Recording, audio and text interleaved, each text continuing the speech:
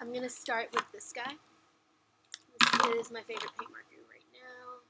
Only problem I have with it is that the nib is kind of hard um, compared to something like this, um, which has a softer nib and it's easier to smudge around and blend, which is what I usually use acrylic markers for, but for stars I want it to be hard so I can pinpoint um, a very small dot and control the shape and size of it.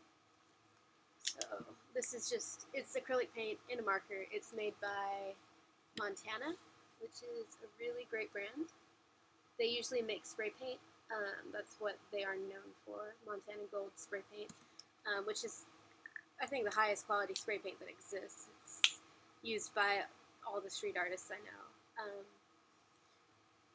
their markers are, the, the, special thing about this is that you can um, refill it. Basically, just, if, I'm not even going to try opening this right now. just open it up and you can switch out both the nib and the pen. So as long as you just have the pen, you can just keep keep buying more uh, ink refills and nibs. Not that you really need to buy nibs that often because it's so hard. Um, it keeps its shape for a long time. So this is just, um, if you're going to use paint markers a lot, this is a great investment. It's kind of like a, a rapidograph equivalent of a paint marker because it's refillable they work really well. They come in a huge range of colors, pretty much all the Montana spray paints in marker form. Um, and you can also use the refillable inks as airbrush paint. So that's everything I know about Montana stuff. Um, I'm going to take another look at my reference here just to see where to put the stars, but I'm not going to be too exact with this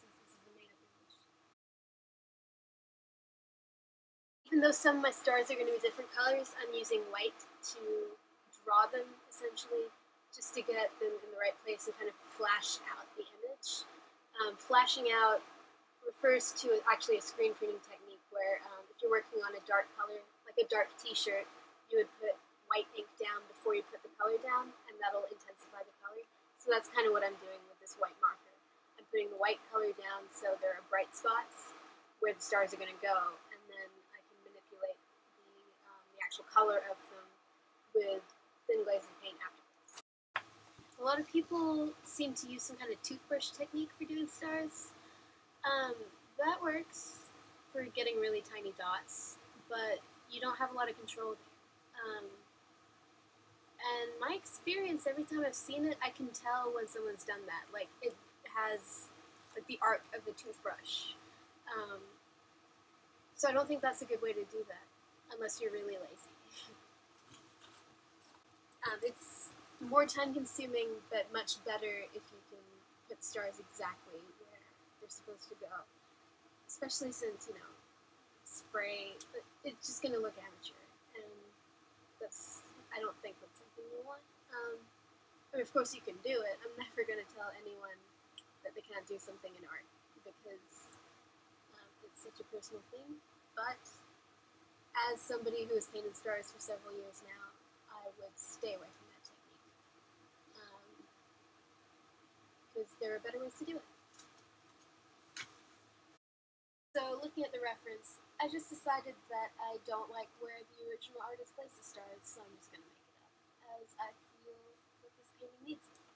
Also, since this is based on a single cover, obviously another artist did the original I'm sorry to say that right now I have no idea who that is, um, but I will look into that and update this later. Maybe with, um, yeah, I'll put in a photo of the original reference. So you can compare the two.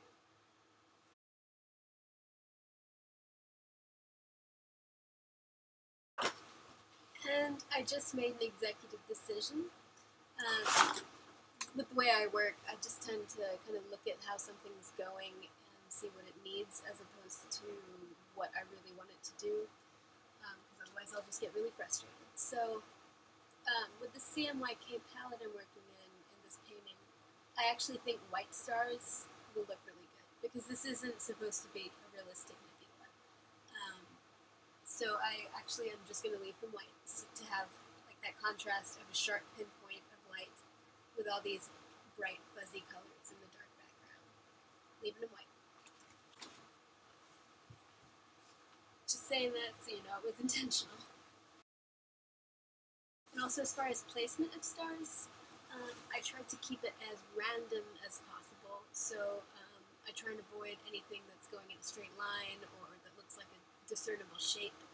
Um, I don't really know how to describe randomness properly. Just, you know, look at a photo of stars and you'll see that some are clumped together, some are big, some are small, some have big spaces in between where obviously there are some stars, but our telescopes aren't strong enough to see them. Um, so I like to kind of have that, like little groupings of stars, some really big ones, some little ones, um, and space in between. I feel like that is a good way to make them look like they're supposed to. So I tried to um, put more stars on brighter areas of whatever nebula painted. So, like for example, this highlight right here, um, in a nebula, the really dense gassy areas, which is what that's showing, I know, it's not a real nebula. Let's pretend it is for a second. Um, the really dense gassy areas are where stars are created, so they will actually contain more stars because they're gravitationally very just full of stuff that is churning, producing new baby stars. So um, I like to put more stars in those areas. Um, also because that adds to the highlight effect. Um, when you have more dots, like little light dots in those spots, it kind of brings them out. Um, and it makes the dark areas next to them where it's fuzzier look even more fuzzy in comparison.